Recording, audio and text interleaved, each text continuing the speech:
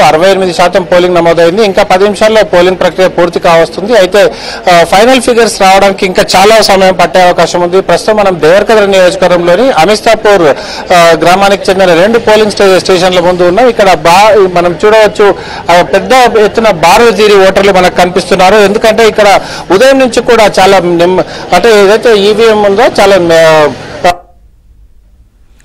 Right మనం చూస్తున్నాం ఏదైతే ఉమ్మడి మహబూబ్ నగర్ కావచ్చు రాష్ట్ర వ్యాప్తంగా కూడా జరుగుతున్నటువంటి పోలింగ్ సరళిని మనం పరిశీలిస్తే ఇక్కడ కూడా పెద్ద సంఖ్యలో ఓటు హక్కు వినియోగించుకుంటున్నటువంటి పరిస్థితి మనకు కనిపిస్తోంది.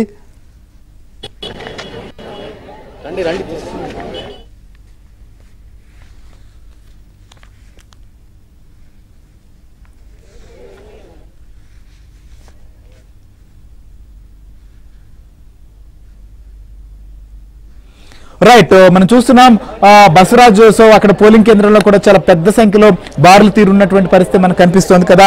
సో జిల్లా వ్యాప్తంగా కూడా ఇంకా అలాంటి పరిస్థితి ఉందా? ఇక కేవలం పది నిమిషాలు సమయమే ఉన్నటువంటి నేపథ్యంలో ఎంత పోలింగ్ పర్సంటేజ్ కూడా ఉమ్మడి జిల్లా వ్యాప్తంగా కూడా నమోదయ్యే పరిస్థితులు ఉన్నాయి? సార్ ఇప్పుడు మనం ప్రస్తుతం దేవర్కద నియోజకవర్గం చెందిన అమిస్తాపూర్ గ్రామంలో ఉన్నాం. అమిస్తాపూర్ గ్రామం చాలా పెద్దది. ఇందులో ఆరు ఆరు పోలింగ్ స్టేషన్లు ఏర్పాటు చేశారు. అయితే ఈ ఉదయం నుంచి కూడా ఇక్కడ ఏదైతే రెండు పోలింగ్ స్టేషన్లు ప్రధానంగా ఉన్నాయి ఈ రెండు పోలింగ్ స్టేషన్లలో మనం చూస్తే వందలాది మంది ఓటర్లు ఇంకా క్యూ లైన్లోనే ఉన్నారు ఖచ్చితంగా ఇక్కడ ఏదైతే ఈవీఎంలు ఉన్నాయో ఈవీఎంలలో చాలా నెమ్మదిగా అంటే బీప్ సౌండ్ చాలా నెమ్మదిగా వస్తుంది. దాదాపు ఒక్కొక్క ఓటర్కు రెండు మూడు నిమిషాలు తీసుకుంటుందని చెప్పి ఓటర్లు అదేవిధంగా అధికారులు పొద్దు నుంచి వాపుతున్న పరిస్థితి. ఇది నేపథ్యంలో ప్రతి ఓటర్ కూడా తన ఓటు వేసేందుకు కనీసం ఐదు నిమిషాలు ఆరు నిమిషాల సమయం పడుతుంది. ఇట్లాంటి పరిస్థితిని చక్కదిద్దేందుకు ఉదయం నుంచి కూడా ఎవరు రాలేదని చెప్పి ఆవేదన ఇక్కడ పెద్ద ఎత్తున ఓటర్ల నుంచి కనిపిస్తుంది. ఎవరు స్పందించలేదు. మంచి ఈవీఎంలు తీసుకురాలేదంటున్నారు. చెప్పండి ఎంతసేపు అయింది సార్ వచ్చి? సార్ నేను గది మధ్యాహ్నం వచ్చిన ఎక్కలే లాట. చాలా లేట్ అవుతుంది. ఈ దాడి ముందర దాడతలేము చాలా లేట్ ఓటింగ్ కాదు లోపల మిషన్లు పనిచేస్తలేదు ఏం పనిచేస్తే తెలియదు ఖచ్చితంగా ఇక్కడ ఈవీఎం మిషన్లు సరిగా పనిచేయడం లేదన్న ఆవేదన ఇక్కడ స్పష్టంగా ఓటర్లలో కనిపిస్తుంది. మహిళలు కూడా ఒక ఉదయం నుంచి పెద్ద ఎత్తున ఇక్కడ బారులు తీరి కనిపిస్తున్నారు. ఎంతసేపు అయింది మేడం మీరు వచ్చి? ఏ- చెప్తున్నారు సార్? సమస్య మా సార్ నేను వచ్చిపోయినాం సార్. లైన్ క్యూ చాలా ఉండే. మళ్ళీ ఇప్పుడు వచ్చిన టూ అవర్స్ ఆయన నిలబడి మా సార్ ఇంకా రానేలేదు నేను వెళ్తేనే మళ్ళీ బిజినెస్ మాది. మార్నింగ్ ఓపెన్ చేసుకోలేదు. మళ్ళీ తెరుచుకోవాలని మళ్ళీ పోయినాం. ఇప్పుడు ఆయన సాన పెట్టి వచ్చిన. ఇప్పుడు ఆయన వేసాడో కూడా తెలియదు. నేను పోతేనే ఆయన వస్తాడు. అంటే ఖచ్చితంగా ఓటు అయితే వేయడం మన ప్రా- ప్రాథమిక హక్కు కదా? అంటే ఇక్కడ ఒకవేళ స్లిప్లు ఇచ్చి రాత్రి అవకాశం కూడా ఉంది. అయినా కూడా మీరు ఓటేసి వెళ్తారు కదండి. నేను ఇంక అందుకే సార్ వెయ్యాలనే ఇంత సేపు అయినా నిలబడ్డాను. ఎందుకంటే మా సార్కి అది ఓటేసే టైం ఉంటుందో లేదో అని నేను ఇబ్బంది పడుతున్నా అంతే. ఇక్కడ మనం చూస్తున్నాం. బార్లు బార్లు మనం చూస్తున్నాం. ఖచ్చితంగా అధికారులు ఉదయం నుంచి కూడా ఏదైతే ఈవీఎంలు మొరాయించిన పరిస్థితి ఉందో ఆ పరిస్థితిని పొద్దున్నే చక్కదిద్దుంటే ఈ పరిస్థితి వచ్చేది కాదు.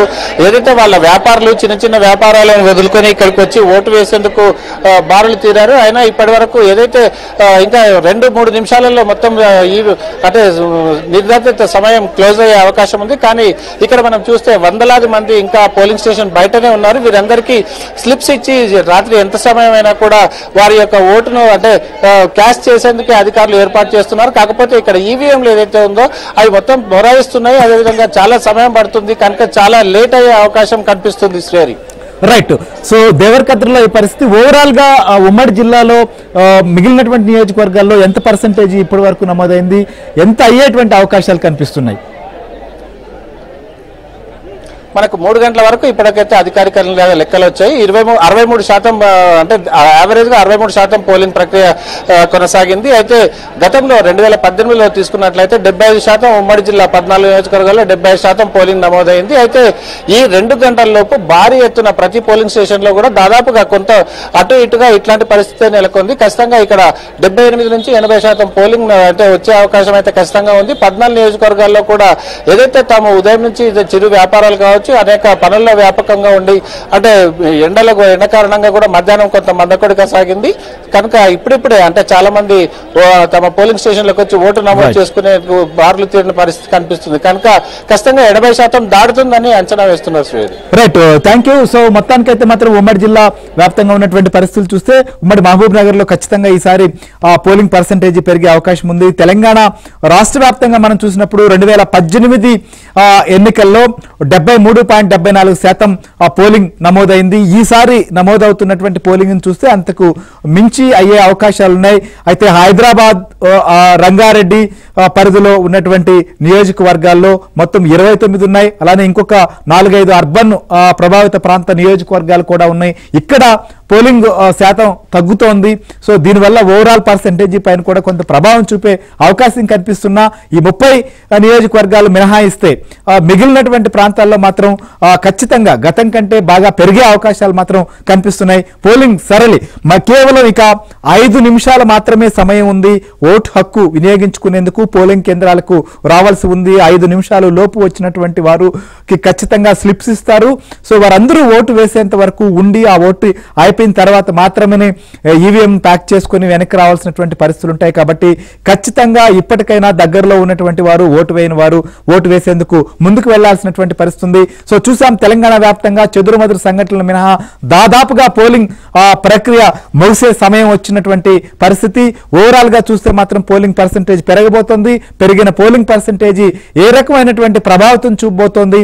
అధికార పార్టీ పైన ఎలాంటి ప్రభావం ఉండొచ్చు? ప్రతిపక్షాల పైన ఏ రకంగా ఉండొచ్చు అనేది కూడా ఎవరికి వారుగా లెక్కలు కడుతున్నటువంటి పరిస్థితులు మనకు కనిపిస్తున్నాయి. ఇక మరో ముప్పై నిమిషాల వ్యవధిలో ఎగ్జిట్ పోల్ కూడా మనం ఎబెన్ స్క్రీన్ పైన చూపించబోతున్నాం. ఏ పార్టీకి ఎలాంటి ఎంతవరకు రాబోతున్నాయి ఎన్ని సీట్లు గెలిచే అవకాశాలు ఉన్నాయి అనేది కూడా ఎగ్జిట్ పోల్లో మనకు తెలియబోతోంది. ఎగ్జిట్ పోల్ ఎగ్జాక్ట్ పోల్ కాకపోవచ్చు కానీ ఖచ్చితంగా ఒక మూడు తెలియజేసేటువంటి అవకాశాలు ఉంటాయి.